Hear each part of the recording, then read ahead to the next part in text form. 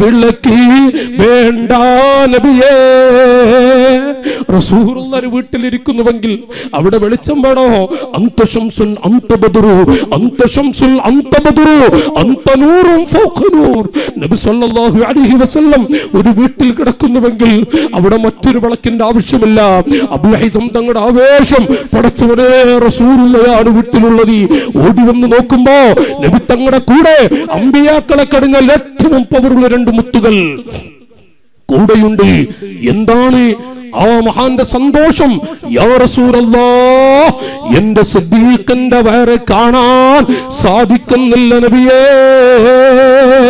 എന്റെ ഉമറിന്റെ വയറ് കാണാൻ കഴിയുന്നില്ല. ഞാൻ എന്റെ ഭാര്യയോട് ഭക്ഷണം പാകം ചെയ്യാൻ പറഞ്ഞിട്ടുണ്ട്. തമാശ രൂപത്തിൽ നബി സല്ലല്ലാഹു അലൈഹി വസല്ലം തങ്ങളോട് ആ സ്വഹാബി പറഞ്ഞു യാ റസൂലല്ലാ അങ്ങ് നല്ല ഭക്ഷണം കടിച്ചിട്ടുണ്ടല്ലേ അങ്ങ് നല്ല ഭക്ഷണം കടിച്ചിട്ടുണ്ട് അല്ലേ? നബി സല്ലല്ലാഹു അലൈഹി വസല്ലം അവിടുന്ന് പറഞ്ഞു അതേ മോനെ ഞാൻ കഴിച്ചിട്ടുണ്ട് നല്ല ഭക്ഷണം കാണണോ? അവിടുത്തെ വസ്ത്രം അങ്ങ് പൊക്കിയപ്പോൾ മഹാന്മാർ അവരെ ആ മഹത്തുക്കൾ കണ്ണീരൊടുക്കുകയാണ്. ബഹുമാനപ്പെട്ടവർ മുതലാളിയായ സ്വഹാബി ഓടിച്ചെന്ന് ഈത്തപ്പണ വൃക്ഷത്തിൽ കാര്യം പടുത്ത പടങ്ങൾ പറിച്ചു കൊണ്ടുവന്ന് അവിടുന്ന് നബിത്തങ്ങൾ സ്വഹാ നബിത്തങ്ങളുടെ മടിയിൽ വെച്ച് കൊടുത്തിട്ട് പറഞ്ഞു യാ റസൂലല്ലാ ഞാൻ ഭാര്യയോട് ഭക്ഷണം പാകം ചെയ്യാൻ പറഞ്ഞിട്ടുണ്ട്. അതുവരെ ഈ പടമൊന്ന് കടിച്ചിരിക്കണം. സിദ്ദീഖ് ഉമർ അവർക്ക് അങ്ങ് കൊടുത്തിട്ട് അങ്ങ് ഭക്ഷണം അവിടുന്ന് പടം കടിച്ചിരിക്കണം. സുബ്ഹാനല്ലാ. ഓ കാരവന്മാരെ അല്പം പടം അങ്ങോട്ടെടുത്തു സദീഖിന്റെ മടിയിൽ വെച്ചു കൊടുക്കുന്നു ഒരു പിടി പടം എടുത്തുകൊണ്ട് ഖത്താബ് തങ്ങളുടെ മടിയിലും വെച്ചു കൊടുക്കുമ്പോ വിഷപ്പിന്റെ കാഠിന്യം കൊണ്ട് ഒരു വാപ്പയുടെ അരികിൽ വെച്ച് മക്കളൊക്കെ അത് അതബ് കേടല്ലല്ലോ. അതബ് കേടല്ലാത്ത വിധത്തിലും കൃപയുള്ള ആ സമയത്തൊന്ന് കടിക്കാറില്ല. ഉമ്മക്ക് സന്തോഷമാണ് മക്കൾ നേരത്തെ കടിക്കുന്നത്. വാപ്പാക്കും സന്തോഷമാണ് ഘട്ടങ്ങൾ നോക്കണം.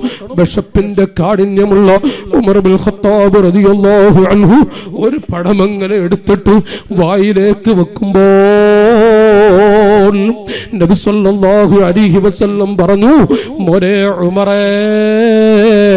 താങ്കൾ കടിച്ചുപോയ ഈ പടമുണ്ടല്ലോ. കോടിക്കണക്കായ ആളുകൾ തടിച്ചുകൂടി നിൽക്കുന്ന പടച്ചറബിന്റെ കോടതിയിൽ കരയാത്ത പണ്ഡിതനുണ്ടോ? وترى الناس سكارى وما هم بسكارى ولكن عذاب الله شديد നബിയെ തങ്ങൾക്ക് അവിടുത്തെ പാവപ്പെട്ട സമുദായത്തെ കാണാം നബിയെ. അവരാകെ കള്ളു കുടിച്ച മത്തിച്ചവരെ പോലെ ആടിക്കളിക്കുന്നത് കാണാം നബിയെ. അവർ കള്ളു കുടിച്ചത് കൊണ്ടല്ല അല്ലെങ്കിൽ മസ്താക്കി കളയുന്ന മറ്റു വസ്തുക്കൾ കടിച്ചത് കൊണ്ടുമല്ല.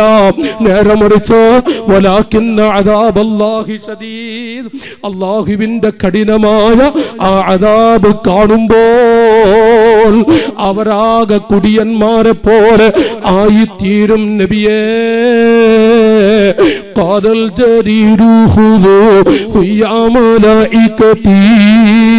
മലക്കുകളെ ആ മനുഷ്യൻ അവനെ നരകത്തിലേക്ക് വലിച്ചെറിയണം. ഒരു തുള്ളി വെള്ളം ചോദിച്ചാൽ പോലും കൊടുത്തു പോകരുത്. ചില അടിമകളെ കുറിച്ച് അല്ലാഹു പറയില്ലേ? അതൊരു വല്ലാത്ത സ്ഥലമാണ്. വേദനാജനകമായ സ്ഥലമാണ്. ഉമറേ താങ്കൾ കടിച്ചുപോയ ഈ പടമുണ്ടല്ലോ. അള്ളാഹു ആ പടത്തെ കുറിച്ച് ചോദിക്കും ഉമറേ. ഖാലിഖായ റബ്ബ് അവന്റെ അടിമകളോട് ചോദിക്കാത്ത മൂന്നേ മൂന്ന് കാര്യം മാത്രമാണ് ലോകത്തുള്ളത്.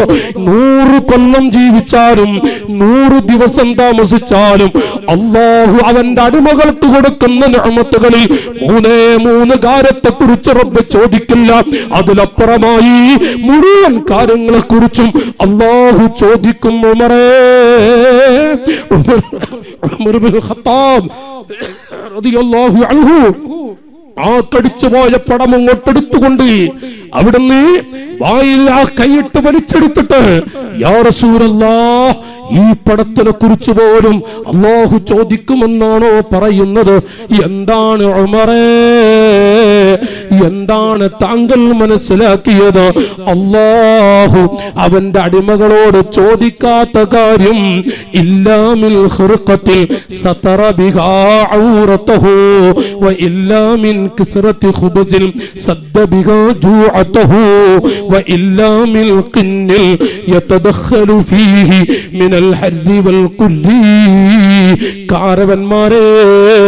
നബി അലൈഹി വസല്ലം അവിടുന്ന് പറഞ്ഞു കൊടുക്കുന്നു വിവരിച്ചു കൊടുക്കുന്നു. ഒരു മനുഷ്യന് ഔറത്ത് മറക്കാൻ ഒരു തുണിയില്ല. ഞാൻ ഉസ്താദ് ഇരുത്തി പറയട്ടെ.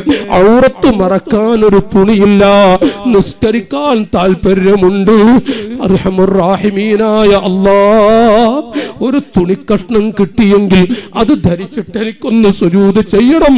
ആ വിഷമത്തോടുകൂടെ ഒരു കഷ്ടം തുണിയില്ലല്ലോ. ആ വിഷമത്തോടെ നിൽക്കുമ്പോൾ കിസ് അവിടെ ഏതെങ്കിലും ഒരു മനുഷ്യൻ ഇല്ലാമിൽ ഹൃക്കത്തിൽ സത്തറ ബിഹാ ഔറത്ത് മറക്കാൻ പറ്റുന്ന ഒരു തുണിയെങ്ങാനും ഒരാൾക്ക് കിട്ടിയാൽ ഉമറേ ആ തുണിയെക്കുറിച്ച് അള്ളാഹു ചോദിക്കുകയില്ല ഉമറേ അതിനപ്പുറമായി എത്ര തുണിയുണ്ടോ? അള്ളാഹു താല ചോദിക്കും ജ്യേഷ്ഠ സഹോദരങ്ങളെ എന്റെ കൊച്ചനുജന്മാരെ ആഹൃത്തിൽ ചോദ്യമില്ലാത്ത ഒന്നാമത്തെ വിഭാഗത്തിൽ ഇല്ല ഞാൻ പെട്ടിട്ടില്ല. അള്ളാഹു താല എനിക്ക് കുറെ വസ്ത്രങ്ങൾ തന്നിട്ടുണ്ട്. എന്റെ ഓരോ വസ്ത്രത്തെ കുറിച്ചും അള്ളാഹു താല ചോദിക്കും. അത് കണ്ടറിയേണ്ടവരല്ലേ നമ്മൾ? ഈ ഇരിക്കുന്ന നിങ്ങളിൽ ആരെങ്കിലും ഔറത്ത് മറക്കാനുള്ള ഒരൊറ്റ തുണിക്കഷ്ണം രണ്ടാമത്തെ ഒരു വസ്ത്രമോ തുണിയോ ഇല്ല. അങ്ങനെ പറയാൻ എന്റെ അനുജന്മാരെ ഈ മജുരസിൽ ഉപ്പാപ്പയുടെ മൂച്ചിക്കൽ ഉപ്പാപ്പയുടെ റൂസുമായി ബന്ധപ്പെട്ട് ആ പൊരുത്തത്തിന് വേണ്ടി വന്ന ജ്യേഷ്ഠാനുജന്മാരെ ഈ കൂട്ടത്തിൽ ആർക്കെങ്കിലും ചോദ്യമില്ലാത്ത ഒന്നാമത്തെ വിഭാഗത്തിൽ ഞാൻ പെടുമെന്ന് പറയാൻ ഈ ശബ്ദം കേൾക്കുന്നവരിൽ ആരെങ്കിലും ഉണ്ടോ? രണ്ടാമതായി പറയുന്നു. ഒരു മനുഷ്യന് വല്ലാത്ത വിശപ്പുണ്ട്. കഠിനമായ വിശപ്പ് അവസാനം റുക്കൂഴിലേക്ക് പോകാൻ കഴിയുന്നില്ല. സുജൂതിലേക്ക് പോകാൻ കഴിയുന്നില്ല. ആ സമയത്ത് ആ മനുഷ്യന്റെ അവസ്ഥ അറിഞ്ഞ് ആരെങ്കിലും ഒരു പത്തിരിയുടെ ഒരു ചപ്പാത്തിയുടെ പകുതി കൊടുത്താൽ ഒരു ചപ്പാത്തി മുഴുവനുമല്ല. കിസുറത്ത് ഹുബുസിൽ ഒരു ചപ്പാത്തിയുടെ ഒരു ഹുബൂസിന്റെ ഒരു കുബൂസിന്റെ പകുതി കൊടുത്തിട്ട് അതെങ്ങാനും ആ മനുഷ്യൻ കടിച്ചാൽ അതിനെക്കുറിച്ചും അള്ളാഹു ചോദിക്കുകയില്ല. ഉമറേ താങ്കൾക്ക് ഇന്ന് സുജൂതിലേക്ക് പോകാൻ കഴിയാത്ത വല്ല കേടുമുണ്ടോ? അങ്ങനത്തെ നിങ്ങളല്ലേ ആ പടം കടിച്ചു പോയത്? അള്ളാഹു ചോദിക്കും നബി മുഹമ്മദ് മാഷാ അല്ലാ ആഹ്റത്തിൽ ചോദ്യമില്ലാത്ത രണ്ടാമത്തെ കാര്യത്തിൽ പഴയ കാലത്ത് കുട്ടികൾ ഇങ്ങനെ ഭക്ഷണത്തിന്റെ അരികിൽ നിന്നിട്ട് അവിടുത്തെ ആ മക്കളുടെ നാവിലൂടെ ആ മക്കളുടെ വായിലൂടെ ഇങ്ങനെ വെള്ളം ഒടുക്കുന്നത് കാണാം. അന്ന് ആ കുട്ടിക്ക് കിട്ടാത്തത് കൊണ്ടാണ്. ഇന്ന് കുട്ടികൾക്ക് ആവശ്യമില്ല. നമുക്കും അതെ ആവശ്യമില്ല. കുറച്ച് കടിക്ക് നിർബന്ധിക്കാണ് മറ്റുള്ളവരൊക്കെ. ആവശ്യമില്ല. സഹോദരങ്ങളെ ഇപ്പോൾ ആ ചുറ്റുപാടാണെങ്കിൽ നമുക്കാർക്കെങ്കിലും നോക്കൂ നിങ്ങൾ ബഗ്ദാദിന്റെ മണ്ണിൽ കഴിഞ്ഞ കൊല്ലം ഇതേ മക്കാമിൽ വെച്ച് ഈ സ്ഥലത്ത് വെച്ച് ഞാനൊരു വാക്യാത്ത് നിങ്ങളോട് പറഞ്ഞിരുന്നു. ഓർമ്മയുള്ളവരുണ്ടാവും. നോക്കു നിങ്ങൾ എന്റെ പ്രിയപ്പെട്ടവരെ ബഗ്ദാദിൽ ഓസുല്ലാലും തങ്ങളുടെ മണ്ണിൽ ഇറാഖിലെ കുട്ടികൾ എന്ത് പ്രൗഢിയോടുകൂടെ ജീവിച്ചിരുന്നു സഹോദരങ്ങളെ. ഇന്ത്യ രാജ്യത്ത് ഇന്ന് ആ പാവങ്ങൾ അനുഭവിക്കുന്ന അനുഭവം ഈ രാജ്യത്തുള്ളവർ അനുഭവിക്കില്ല എന്ന് പറയാൻ പറ്റുമോ ആരും തന്നെ മറക്കരുത് ആരും മറന്നു പോകരുത്. ഒരു കൊല്ലം ഇറാഖിലേക്ക് സിയാറത്തിന് പോയപ്പോ സുബാനല്ലാ വല്ലാതെ വേദനിപ്പിച്ച കരയിപ്പിച്ച ഒരു സംഭവം എന്റെ ഒരു അനുജന്റെ പ്രായം കൂടിയില്ല. എവിടുന്ന് ഓസുലാലമൻ ചാർത്ത് സിയാറത്ത് കടന്ന് തൊട്ടടുത്ത ഹോട്ടലിൽ ചായ കുടിക്കാൻ കുറെ ആളുകളുണ്ട് ഞങ്ങൾ. അങ്ങ് കയറിയപ്പോ ഒരു പത്തിരുപത്തഞ്ച് വയസ്സുള്ള ഒരു ചെറുപ്പക്കാരൻ സഹോദരങ്ങളെ ബഗ്ദാദിലെ ഇറാഖിലെ തങ്ങളും തങ്ങളും അതുപോലത്തെ മുത്തുകളൊക്കെ വിശ്രമിച്ചു കൊണ്ടിരിക്കുന്ന ആ ബറക്കത്തുള്ള നാട്ടിലെ ഒരു ചെറുപ്പക്കാരൻ ഹോട്ടലിലേക്ക് വന്ന് ഇങ്ങനെ എത്തി നോക്കുന്നത് ഞാൻ ഉപ്പാപ്പയുടെ അരികിൽ വെച്ചൊരു കഥ പറയല്ല കേട്ടോ. ഒന്ന് എത്തി നോക്കുന്നത് കണ്ടു. കൂടെയുള്ള ഒരു ഹാജി ആ കുട്ടിയെ മാടി വിളിച്ചു. എന്നിട്ട് ആ ഹാജി ആ കുട്ടിയോട് ചായ വേണോ? ഒരു അറബി കുട്ടിയോട് മലയാളത്തിൽ ചായ വേണോ വെച്ച് എങ്ങനെ ഉണ്ടാവും? ചായ വേണോ ചോദിച്ചു. അപ്പൊ ആ കുട്ടിയൊന്നും മിണ്ടിയില്ല. ഉടനെ തന്നെ ഈ മനുഷ്യൻ കൈകൊണ്ട് ഇങ്ങനെ ആങ്ങി കാണിച്ചു ഭക്ഷണം കഴിക്കണോ എന്നുള്ള ഓ എന്റെ സഹോദരങ്ങളെ ആ ഇറാക്കിലെ കുട്ടി കണ്ണിലൂടെ വെള്ളം ഇങ്ങനെ ഒഴുകുന്നു. മറുപടി കൊടുക്കാനല്ല എന്താണ് കുട്ടിയുടെ കരച്ചിലറിയോ ഉടനെ തന്നെ ആ കുട്ടി ഒരു ഭാഗത്ത് ഇരുത്തിയിട്ട് ആ മനുഷ്യൻ രണ്ട് പൊറാട്ട വാങ്ങിക്കൊടുത്തു. അവിടുത്തെ രണ്ട് പൊറാട്ട വാങ്ങിക്കൊടുത്തു എല്ലാവരും വാങ്ങിയത്. അവനിങ്ങനെ വാങ്ങിക്കൊടുത്തപ്പോ അവൻ ഒരു മൂലയിൽ എന്താണ് ചെറുപ്പക്കാരന്റെ ഇരുത്തം അറിയോ? കാണാൻ വയ്യ. ഇന്നും കണ്ണിൽ പതിയുകയാണ് ആ കുട്ടിയുടെ ഇരുത്തം ആ കുട്ടി അങ്ങനെ ഇരുന്നിട്ട് ഒരു പൊറാട്ടയുടെ തുണ്ടങ്ങനെ എടുത്തു. തുണ്ടങ്ങനെ വായിലേക്ക് വെക്കുമ്പോൾ പുറത്തേക്ക് അങ്ങനെ നോക്കും. പുറത്തേക്ക് അങ്ങനെ നോക്കും. എന്നിട്ട് ആ തുണ്ട് വായിലേക്ക് വെക്കും. ഒരു പൊറാട്ട കഷ്ടിച്ച് ഷാജിക്ക് ആ പൊറാട്ട കഷ്ടിച്ച് കടിച്ചു. രണ്ടാമത്തെ പൊറാട്ട ആ കുട്ടി എടുത്തിട്ട് വാങ്ങിക്കൊടുത്ത ആജിയോട് ചോദിച്ചു ഇതെന്റെ ഉമ്മാക്കൊണ്ടേ കൊടുക്കട്ടെ? ഇതെന്റെ ഉമ്മാക്ക് ആ ആജിക്ക് മനസ്സിലായില്ല. ആ മനുഷ്യൻ ഞങ്ങളോട് വെച്ച് എന്താണ് ഈ കുട്ടി ചോദിക്കുന്നത്? പറയുന്നത് അജരെ ആ ഒരു പൊറാട്ട അവന്റെ ഉമ്മാക്ക് കൊടുക്കട്ടെ എന്ന് പറയുന്നത്. ഹലോ ഹാജി പരിസരം മറന്നു. ആ മനുഷ്യൻ കുറേ കുബൂസും കറിയും ഒക്കെ പൊറാട്ടയും ഒക്കെ വാങ്ങിക്കൊടുത്ത് ആ ചെറുപ്പക്കാരന്റെ കയ്യിലങ്ങ് കൊടുത്തപ്പോൾ അവനങ്ങനെ മെല്ലെ പോകുന്നു. ഞങ്ങളെ കാഴ്ച കാണാം അവനങ്ങനെ പുറത്തു പോയപ്പോൾ ആ ചെറുപ്പക്കാരന്റെ ഉമ്മ പാവമാ ഒരു സാധു ഉമ്മ ഒരു സ്വർഗീയ ഉമ്മ നോക്കൂ. ഇസ്ലാമിക ദീനിന്റെ നല്ല ഷാറുള്ള ഒരു ഉമ്മ റോഡരികിൽ അങ്ങനെ ഇരിക്കുന്നുണ്ട്. ഈ സഹോദരന്റെ രണ്ട് സഹോദരിമാരും ആ ഉമ്മാന്റെ പരിസരത്തിരിക്കുന്നുണ്ട്. ആ ചെറുപ്പക്കാരൻ ഉമ്മയുടെ കയ്യിലങ്ങ് ആ ഭക്ഷ്യപദാർത്ഥം ആ ഭക്ഷണം അങ്ങ് കൊടുത്തപ്പോൾ ആ ഉമ്മാന്റെ കരച്ചിൽ ആ ഉമ്മയുടെ കണ്ണുനീർ ആ പെങ്ങന്മാരുടെ കയ്യിൽ കൊടുക്കുമ്പോൾ ആർത്തിയോട് പെൺകുട്ടികൾ പാവങ്ങളല്ലേ എന്നോ കടിച്ച മക്കൾ ആ പെൺകുട്ടികൾ ആർത്തിയോടെ കടിക്കുന്നത് കാണാൻ കഴിഞ്ഞു സഹോദരങ്ങളെ. നോക്കൂ നിങ്ങൾ റൂമിൽ താമസിക്കുന്നവരും റൂമിൽ നിന്ന് പോകുമ്പോൾ അവിടെ ജ്യൂസ് എല്ലാം കുടിച്ചുപോയ കുപ്പിയുടെ ബാക്കിയുണ്ട്. അപ്പൊ ബാക്കി വെച്ച് പോകുമ്പോൾ എന്റെ ഉമ്മയെക്കാളൊക്കെ വയസ്സുള്ള രണ്ട് ഉമ്മമാർ അവർ വന്നിട്ട് ചോദിക്കുന്ന ഞാൻ കേട്ട രംഗമാണ്.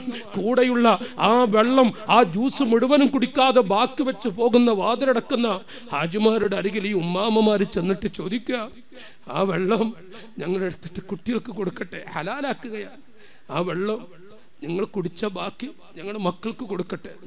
ഇത് എവിടെയാണ് എന്റെ സഹോദരങ്ങളെ?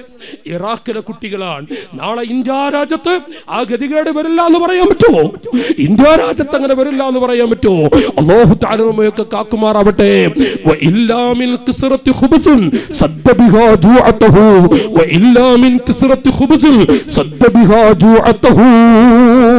ശക്തിയായ വിഷപ്പുണ്ട് ദാഹമുണ്ട്. ആ വിഷപ്പടക്കാൻ വേണ്ടി ഏതെങ്കിലും ഒരു മനുഷ്യൻ ഒരു തുണ്ട് പത്തിരി കൊടുത്താൽ ചപ്പാത്തി കൊടുത്താൽ ഒരു തുണ്ട് ഹുബൂസ് കൊടുത്താൽ ആ വിഷപ്പുള്ള വ്യക്തി എങ്ങാനും ആ തുണ്ട് കടിച്ചാൽ അതിനെക്കുറിച്ചും അള്ളാഹു ചോദിക്കില്ല. അതിലപ്പുറമായി എത്ര ഭക്ഷണം കടിക്കാൻ അള്ളാഹു തോഫീക്ക് തന്നാൽ അത് കുഴപ്പമുണ്ടെന്നല്ല അള്ളാഹു താഴെ ചോദിക്കുന്നതാണ്. وإلا من القن يتدخل فيه من الحر والقر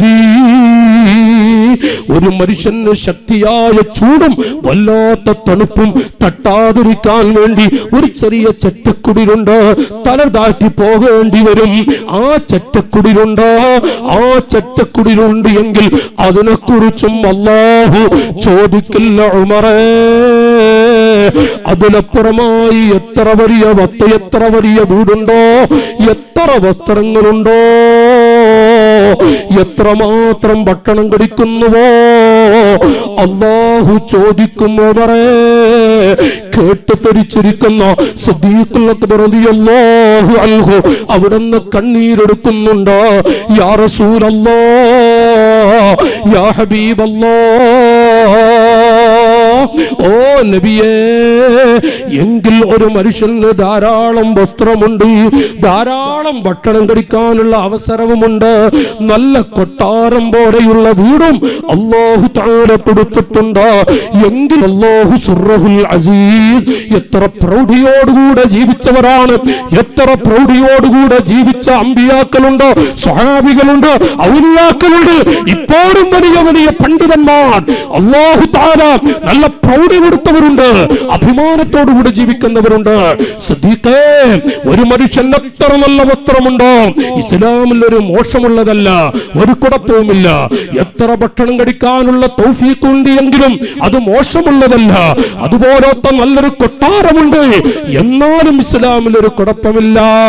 സദീഖേ അല്ലാഹു തആല കൊടുത്ത റഹ്മത്താണത്. സുമ്മല തുസ്അലുന്ന യൗമഇദിൻ അനിൻ നഈം. ثم لتسألن يومئذ عن النعيم. തീർച്ചയാണ്. അള്ളാഹു താര ആ നുഴമത്തുകളൊക്കെ റബ്ബ് അവന്റെ അടിമകൾക്ക് കൊടുക്കുന്നതാണ്. കുഴപ്പമുള്ളതല്ല തെറ്റുള്ളതല്ല മോശമാക്കേണ്ടതില്ല. അള്ളാഹു താന കൊടുത്ത നിഴമത്താണ് ആ നിഴമത്തുകൾക്ക് വല്ല ശുക്ർ കാണിച്ചവരുണ്ടോ? ശുക്ർ കാണിച്ചവരുണ്ടോ? അള്ളാഹു താല കൊടുക്കുകയില്ല. നന്ദി കാണാ കാണിക്കാത്തവന് അള്ളാഹു വെറുതെ വിടുകയുമില്ല. ശുക്ർ കാണിക്കണം. ആഹ്റത്തിൽ ചോദ്യമില്ലാത്ത മൂന്നേ മൂന്ന് കാര്യങ്ങൾ ആ മൂന്ന് കാര്യങ്ങൾ അത് പറഞ്ഞു എന്നേ ഉള്ളൂ. മോശമാണെന്നല്ല അതിലപ്പുറമായി എന്തുണ്ട് എങ്കിലും ചോദിക്കും സിദ്ദീഖേ. നബി മുഹമ്മദുർ റസൂലുള്ളാഹി. സുബ്ഹാനല്ലാഹ് നബി സല്ലല്ലാഹു അലൈഹി വസല്ലം സ്വഹാബികളോട് പറഞ്ഞുവെങ്കിൽ സഹോദരങ്ങളെ യാഥാർത്ഥ്യമല്ലേ? നമ്മൾ പാവങ്ങളാണ്. ഞാനിപ്പോ ഇങ്ങനെ വാഴു പറയുന്നു നിങ്ങൾ കേൾക്കുന്നു. ഉസ്താദുമാർ ഇവിടെ അവരുടെ സാന്നിധ്യത്തിൽ വെച്ച് ഞാൻ പറയാം. ഇപ്പോ ഈ ഓദിയ ഹദീസ് ഈ പറഞ്ഞ വിഷയത്തിൽ ചോദ്യം ചെയ്യപ്പെടാത്ത ആഹൃത്തിൽ ചോദ്യമില്ലാത്ത ഒന്നിനും നമ്മൾ വിട്ടിട്ടില്ല. എല്ലാ ചോദ്യങ്ങൾക്കും നമ്മൾ മറുപടി പറയേണ്ടി വരും. അള്ളാഹു താല ചോദിക്കാതിരിക്കൂല. അള്ളാഹു താല നമുക്ക് നിഅമത്ത് തന്നിട്ടുണ്ടോ? സുബഹാനല്ലാ റബ്ബ് വിടില പത്ത് റുപ്യ അതാ ഞാൻ നേരത്തെ പറഞ്ഞത്. ഒന്നൊന്നര ലക്ഷം കോടിയൊക്കെ. അയ്യാ ഉസ്താദ് കേട്ടില്ല വന്നപ്പോ ഒരു വാക്ക് പറഞ്ഞിരുന്നു. എന്നോട് ആ ഉസ്താദ് ഒന്ന് കേൾക്കാം ഉസ്താദുമാരെന്ന് കേൾക്കാൻ ഞാൻ പറയാ. അത് ആമുഖ ഞാൻ ഒന്ന് പറഞ്ഞത് എന്നോടൊരു ചെറുപ്പക്കാരന് അയാൾ കൊടുക്കാൻ ബാക്കി ഏപ്പട്ടിയും മൂക്ക് കീപ്പിട്ടുള്ളൊക്കെ പൈസ കൊടുക്കാണ്ടിരുന്നില്ലേ? എന്നിട്ട് അവന് ഒരു ലക്ഷത്തോളം രൂപയുള്ള കാറുമായി നടന്നപ്പോ ചോദിച്ചതിന്റെ കടക്ക വീഡിയോ അപ്പ പറഞ്ഞ മറുപടിയാ ഇങ്ങനത്തെ ഒരു കാറുണ്ടെങ്കിൽ ആരോടൊരു പത്ത് ലക്ഷം പതിനഞ്ച് ലക്ഷം ചോദിച്ച കാശ് വിടാൻ ഇനി കാറ് വേണം. നിങ്ങൾ ആലോചിക്കുക ജീവൻ പോയുള്ള ഹാലെന്താ അല്ല നിങ്ങളൊന്ന് പറയും ജീവൻ പോയുള്ള ഒരു ഹാലെന്താണ് എന്താണെങ്കിലും അള്ളാഹു താല ചോദ്യം ചെയ്യും. ഒന്നും വെറുതെ വിടുകയില്ല. ഒരു അഞ്ചു ഉറുപ്പ്യ നമ്മൾ ഉണ്ടാക്കിയ ആ അഞ്ചു രൂപ വെറും നാടൻ അഞ്ചു രൂപ. അതിനെ കുറിച്ച് അന്ന് ചോദിക്കും. ഇതൊന്നും സുബഹാനല്ലോ കുണ്ടൂർ ഉസ്താദിനെ പോലുള്ള മഹത്തുക്കൾ ഒരാൾക്ക് അഞ്ചു റുപ്യ വെറും അഞ്ചെന്ന് അഞ്ച് എന്ന് പറഞ്ഞാൽ നമ്മളിപ്പോ അഞ്ചര മിനിമം ഇപ്പൊ അഞ്ച് ലക്ഷമാണ് ഒരു അഞ്ചു റുപ്യ വരും അയ്യായിരം ഒന്നും ഇപ്പൊ ഒരു അഞ്ചു റുപ്യ വയ്ക്കൂല ഒരു ഉറുപ്പ്യ വരും നിങ്ങൾ? ആ ചോ ആ അഞ്ചു വെച്ചാ എന്താ ഷാജ ശാചിക്കുക നിങ്ങൾ? നിങ്ങൾ ഇരിക്കണോക്കട്ടെ പൂച്ചക്കുട്ടിയെ പോലെ. ഏഹ് ഒരു അഞ്ചു റുപ്യ വരെ വെച്ചാൽ എന്താ പരിസ്ഥിതി? മിനിമം അഞ്ചു ലക്ഷം എന്നാണ് പിന്നീട് വേറെ കാര്യങ്ങളൊക്കെ പോകുന്നത് സാധാ ഒറ്റക്കം അഞ്ചു ഉറുപ്പ്യ കടണ്ട്. ബാവാ കൊണ്ടുവരുത്താതെ മക്കളെ വിളിച്ചിട്ട് ഉറക്കു വരൂല. ഈ അഞ്ചു ഉറുപ്പ്യ കൊടുക്കണ്ടേ? കടം വാങ്ങിയത് കൊടുക്കണ്ടേ? കടം വാങ്ങിയത് കൊടുക്കണ്ടേ? മാത്രല്ല ബാവാ ഇനി കിട്ടിയാലോ? തീരെ ഉറക്കരൂല. അത് അവരെ കയ്യിൽ എത്തിയിട്ട് ഉറങ്ങാൻ കഴിയുള്ളൂ. ഹേ അവർ കൊടുക്കണ്ടേ? അവരെ പോയിട്ട് വിളിച്ചോണ്ടാൻ പറ്റൂലല്ലോ? ഉറങ്ങിയവരെ വിളിച്ചോണ്ട് ബുദ്ധിമുട്ടിക്കാൻ പറ്റൂലല്ലോ? എന്നിട്ട് അതും കാത്തിരിക്കുക അഞ്ചു ഉറുപ്പ്യം വെച്ചിട്ടേ എന്താണ് എന്റെ ജ്യേഷ്ഠാനുജന്മാരെ? ഒരു പേടിയില്ലാത്ത ഞാനിവിടെ നമ്മുടെ ഇവിടുത്തെ അവസ്ഥകൾ വേറെ ഏതോ രാജ്യത്ത് കിടക്കുന്ന സ്ഥിതിഗതികൾ ഞാനിങ്ങനെ പറയാന്ന് മാത്രം കേട്ടോ ഇവിടെ ഒന്നും അങ്ങനത്തെ ഒരു അവസ്ഥ വരൂല. അള്ളാഹു താല ബർക്കത്ത് നൽകട്ടെ. അവൻ ആമീൻ പറഞ്ഞോളി ഹബീബിങ്ങനെ അള്ളാഹു താല ബർക്കത്ത് ചെയ്യട്ടെ. ഞാനിവിടെ പറഞ്ഞു വരുന്നത് എന്താണെങ്കിലും തീർച്ചയായും റബ്ബ് ചോദിക്കുക തന്നെ ചെയ്യും. ഒരാളും വിടൂല. മൂച്ചിക്കരുപ്പാപ്പാന്റെ ഹദർത്തുന്നല്ലേ ഞാൻ ഈ പറയുന്നത്? വിടൂല. അത് ഞാനാവട്ടെ നിങ്ങളാവട്ടെ അള്ളാഹു താല കാക്കട്ടെ. മഹാന്മാരുടെ ഹക്ക് കൊണ്ട് റബ്ബിനെ മറക്കുന്ന ജീവിതത്തിൽ നിന്ന് അള്ളാഹു നമ്മളൊക്കെ രക്ഷപ്പെടുത്തുമാറാവട്ടെ എന്താണ് എന്റെ സഹോദരങ്ങളെ നോക്കു നിങ്ങൾ ഹബീബായി നബി മുഹമ്മദുർ റസൂലുള്ളാഹി ചൊല്ലണേ മുഹമ്മദ് മുസ്തഫ لا يقبل الله حج رجل ولا عمرته ولا جهاده ولا صدقته ولا نفقته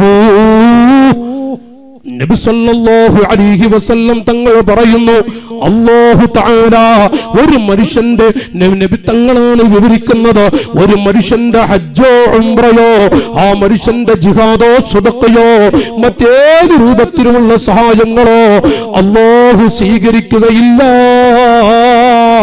ആ സാമ്പത്തിക സമ്പത്തിലെങ്ങാനും എന്തെങ്കിലും ഒരു കലർപ്പ് വന്നു പോയാൽ എന്താ നോക്കു നിങ്ങൾ ഇന്ന് അതൊന്നും ഇപ്പൊ നോക്കിയാൽ നടക്കൂല രാജ്യരെ അല്ലെങ്കിൽ മൊയിലേരെ ഷാജിഖാന്റെ അടക്കം മെയിലേരെ എന്ന് വിളിക്കും ചെരിച്ചിട്ട്. ഏ ചെരിച്ച് വിളിക്കും. തങ്ങളാപ്പാനോടും വിളിക്കും. മെട്ടാ മിളക് മെയിലേരെ എന്ന് വിളിക്കുന്നതാണ്. എന്താവട്ടെ അതൊന്നും ഇപ്പൊ നോക്കിയാ പറ്റൂല. അങ്ങനെ നോക്കിയപ്പോ നടക്കോ. ഇപ്പൊ നിങ്ങൾ കേൾക്കാറില്ല അതൊക്കെ? അങ്ങനെ നോക്കിയപ്പോ നടക്കോ. നിങ്ങളിപ്പോ അങ്ങനൊക്കെ ഉസ്താവന്മാര് പറഞ്ഞ വിഷയം നടക്കോ. യൂത്താഹു അലൈഹി വസല്ലം പറഞ്ഞു നാലാളുകൾ. ഞാൻ അതും കൂടെ പറഞ്ഞു പ്രസംഗം നിർത്തും. നാലാളുകൾ അഭിവന്ദരായ ബദുർ സാദാത്ത് പാപ്പ നമ്മുടെ മജ്ലിസിലേക്ക് വരുന്നത് വരെയുള്ള ഒരു ചെറിയ പ്രഭാഷണം എന്ന രൂപത്തിലാണ് ഞാൻ നിങ്ങളോട് പറഞ്ഞതും പറഞ്ഞു വരുന്നതും. എന്റെ സഹോദരങ്ങളെ യൂത്താ ബിറജുലിൻ ഖദ് ജമഅ മാലൻ മിൻ ഹറാം. അന്ത്യദിനത്തിൽ ഒരു മനുഷ്യനെ ഒരു മനുഷ്യനെ അള്ളാഹു കൊണ്ടുവരും. ഖദ് ജമഅ മാലൻ മിൻ ഹറാം വഅൻഫഖഹു ഫീ ഹറാം. സമ്പാദിച്ചത് മുഴുവനും ഹറാമിലൂടെ. അത് എവിടെ പോയി കസബിലാണെങ്കിലും ശരി എവിടെ പോയിട്ടാണെങ്കിലും ശരി. ഉദാഹരണമാണ്. ഷാജിക്ക് പറച്ചത്. എവിടെ വെച്ചാണെങ്കിലും ശരി. സമ്പാദിക്കുന്നത് മുഴുവനും ഹറാമിലൂടെ. കൊടുക്കുന്നതോ അത് ഹറാമിലേക്ക്. അതൊന്നും ഇപ്പൊ നോക്കിയാൽ പറ്റൂലേ. ചില കാര്യങ്ങളെ നടക്കണമെങ്കിൽ ഇപ്പൊ അങ്ങോട്ടൊക്കെ കൊടുക്കണേ. അങ്ങനെയൊക്കെ ഞങ്ങളുടെ നാട്ടിൽ നാട്ടടപ്പുണ്ട് ചില സംസാരങ്ങൾ നിങ്ങളവിടെ ഉണ്ട് അബീബെ? നമ്മളെ പഴയ ചങ്ങായിമാരല്ലേ. നിങ്ങളെ നാട്ടിലൊക്കെ ഉണ്ടത് ഞങ്ങളെ നാട്ടിലൊക്കെ സുലഭമാണത് അങ്ങനെയൊക്കെ ഇപ്പൊ നോക്കി ചില സംഗതി എന്താ വാക്കുകൾ? ചില സംഗതി നടക്കണമെങ്കിലേ അതൊക്കെ വേണപ്പോ എല്ലാം നോക്കിയപ്പോ നടക്കോ. നബിസല്ലാഹു സല്ലല്ലാഹു വസ്ല്ലം തങ്ങൾ എന്റെ വകയല്ല. അവിടുത്തെ നാവ് കൊണ്ട് പറഞ്ഞത് ഞാൻ ഇങ്ങനെ വായിക്കുന്നെന്ന് മാത്രം ഒരു മനുഷ്യനെ അള്ളാഹു മലായിക്കത്ത് മുഖേന കൊണ്ടുവരുന്നു. അവൻ സമ്പാദിച്ച ധനമുണ്ട് അത് ഹറാമിലൂടെ സമ്പാദിച്ചതാണ്. ഫീ ഹറാം. ചെലവഴിക്കുന്നതൊക്കെ ഹറാമിലേക്കുമാണ്. വേറെ ഒരു ചിന്തയില്ല. സമ്പാദിക്കുന്നത് ഹറാമിലൂടെ കൊടുക്കുന്നത് ഹറാമിലൂടെ. ബിഷുറുൽ ബിഷുറുൽ നിങ്ങൾക്ക് ക്ഷീണം വന്നിട്ടുണ്ട്?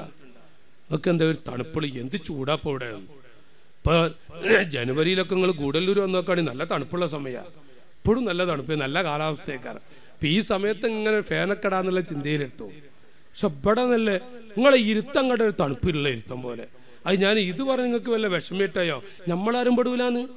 നമ്മളാരും പെടുമ്പോൾ ഈ കൂട്ട് ഇതൊക്കെ എത്യോപ്യയിലെ കാര്യമായി പറയണത്. അങ്ങനെ കൂട്ടി നിങ്ങൾ എന്നിട്ട് നമ്മളിങ്ങനെ വിലയിരുത്തും ചെയ്യാൻ ഞാനതിൽ പെടുവോ? നിങ്ങൾ സ്വയം വിലയിരുത്തുക. നിങ്ങളാണ് ചിലപ്പോൾ ഞാനൊരു ഇത് ഒരു സ്ഥലത്ത് വാഴ്ന്നു പറഞ്ഞപ്പോൾ ഒരു ചെറുപ്പക്കാരൻ പറഞ്ഞേ അതൊക്കെ നിങ്ങൾ എന്നെ കുറിച്ചാ പള്ളിയത്തെ ഉസ്താദ് നിങ്ങൾക്ക് പറഞ്ഞൊന്നുമില്ല എന്നെ കുറിച്ച് അല്ലോ ഞാനവിടെ ആ ഉസ്താദും ഞാനിട്ട് ഒരു സംസാരം നടന്നിട്ടില്ല. നേരെ വാതിന് പോയി ഭക്ഷണം കഴിച്ച് സ്റ്റേജിൽ കയറി. അപ്പൊ ഇയാൾ പറയും എന്നിട്ട് ഇയാൾക്ക് ആ ഉസ്താദിനോട് വല്ലാത്ത വെറുപ്പ്. എന്നിട്ട് ഇയാൾ പറയാ എന്നോട് ഞാൻ ഉസ്താദിനെ കണ്ടിട്ടില്ലല്ലോ വാതിനൊന്നും അതൊക്കെ അങ്ങനെ പറയും മൈലിയക്കന്മാർ അങ്ങനെയൊക്കെ പറയും. ഇയാൾ പറയാ എനിക്ക് അതൊക്കെ മൂപ്പര് പറയാതെ നിങ്ങൾ ഇത്ര അറിഞ്ഞു പറയൂല. ഇതിപ്പോ സംഭവം മൊത്തത്തിൽ പറയാൻ ഈ കൂട്ടത്തിലെങ്ങാനും ചിലപ്പോൾ ഉണ്ടാകും. നമ്മളെ കുറിച്ച് തന്നെ ആയിരിക്കും. നിങ്ങൾ അങ്ങനെ ദയവ് ചെയ്ത് തെറ്റിദ്ധരിക്കരുതട്ടാ ഇവിടെ ആരെ കുറിച്ചല്ല ഞാൻ പറയുന്നു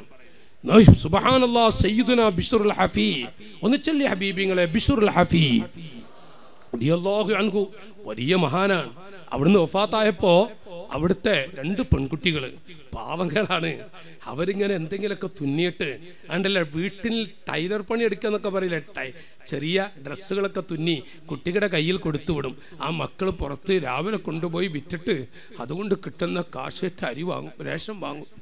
ഒരു ദിവസം ഒരു ഡ്രസ്സ് പൂർത്തിയാക്കാനുണ്ട്. വിളക്ക് എണ്ണ കഴിഞ്ഞു. എണ്ണ കഴിഞ്ഞത് കൊണ്ട് വിളക്ക് കിട്ടു. അപ്പൊ ഒന്നുമില്ല ഇരുട്ടായി. ഇഷാ നിസ്കാരം കഴിഞ്ഞിട്ട് പല ആളുകളും പന്തം കത്തിച്ച് പഴയ കാലത്ത് കാരവന്മാർക്കൊക്കെ അറിയാം പന്തം കത്തിച്ചു പോകുക അപ്പൊ പന്തം കത്തിച്ചു പോകുന്ന കണ്ടപ്പോ ആ വീട്ടിന്റെ ആ വാതിലും എല്ലാം തുറന്നു വെച്ചിട്ട് ഈ ജ്യേഷ്ഠത്തെ അനുജത്തെയും കൂടി ഒരു ഡ്രസ്സ് അടിച്ചു. ആ വെളിച്ചം കൊണ്ട് ഡ്രസ്സ് അടിച്ചു നേരം വെളുത്തു.